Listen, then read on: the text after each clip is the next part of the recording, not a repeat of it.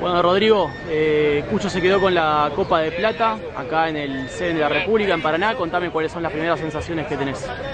Y bueno, la- las últimas que nos quedaron contentos porque ganamos la de plata. Nos quedamos por ahí con ganas de, ir a la de oro, que, como te dije recién, matamos con alto balde y nos quedamos afuera sin siquiera perder un partido. Pero bueno, por lo menos vinimos a la plata y terminamos jugando bien, gracias a Dios.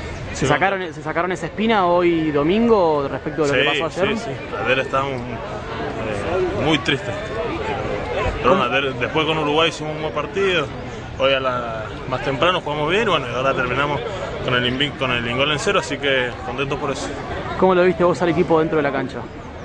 Y al principio muy mal. Eh, los primeros dos partidos no, no nos encontramos, no, supimos darle la vuelta, pero bueno, ahora a lo último pudimos ajustar algunos detalles, que en la defensa más que nada, y terminamos jugando muy bien. Te cambio un poquito de tema, este, quedaste confirmado en la lista del PLAR 2012. Eh, ¿Cómo tomaste esa, esa convocatoria?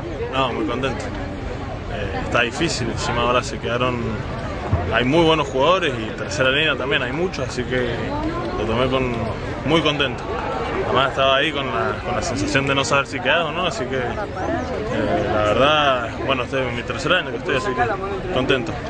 ¿Qué significa para vos saber que vas a entrenar al lado de jugadores como Alejandro Campos o Genaro Fesia, que ni más ni menos jugaron el último mundial en Nueva Zelanda? No, contento. Sé que me pueden aportar un montón de, de experiencia, así que bueno, ahora que queda aprender o seguirlos a dedo.